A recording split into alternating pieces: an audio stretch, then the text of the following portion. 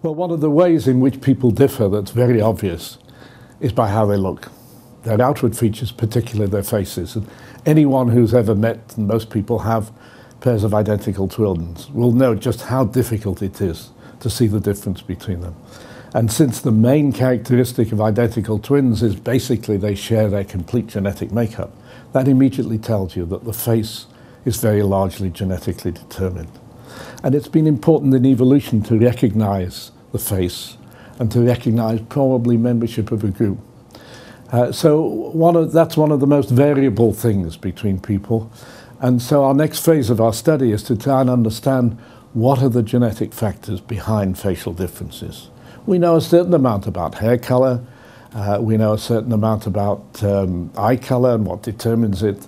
It's not much different in human animals than in other animals.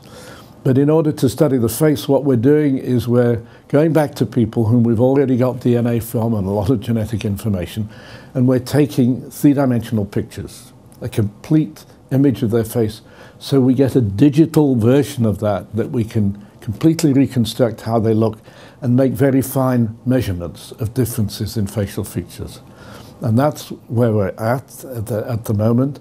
We've done about eight or 900 photos like that they require a lot of analysis. And then we're, we're going to look for is to look for genetic differences, rather like the disease studies, that go along with particular facial features. And in this way, we hope we can identify the genetic variations that determine the face, which we think will be really an interesting thing to do.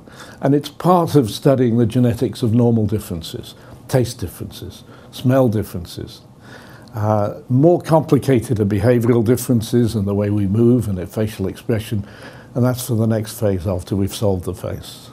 Uh, the, the genetic factors that are involved in diseases are of a wide variety of different types, depending on the type of disease, whether it's cancer, heart disease, or diabetes. There are some severe abnormalities that give you facial distortion. Many people know what Down syndrome is. It used to be called Mongolism for an obvious reason because of the facial features. But by and large, that's a, a minority of telling you anything about disease. But more interesting, of course, is the whole question of, of facial identification and recognition from a DNA sample. So uh, this obviously has forensic implications.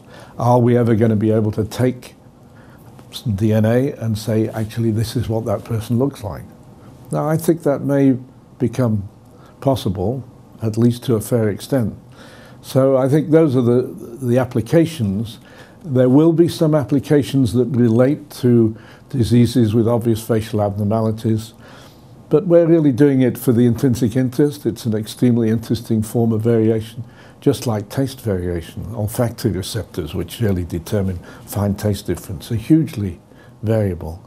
Uh, and we think that sort of knowledge about what controls similar variability in other features is of great interest.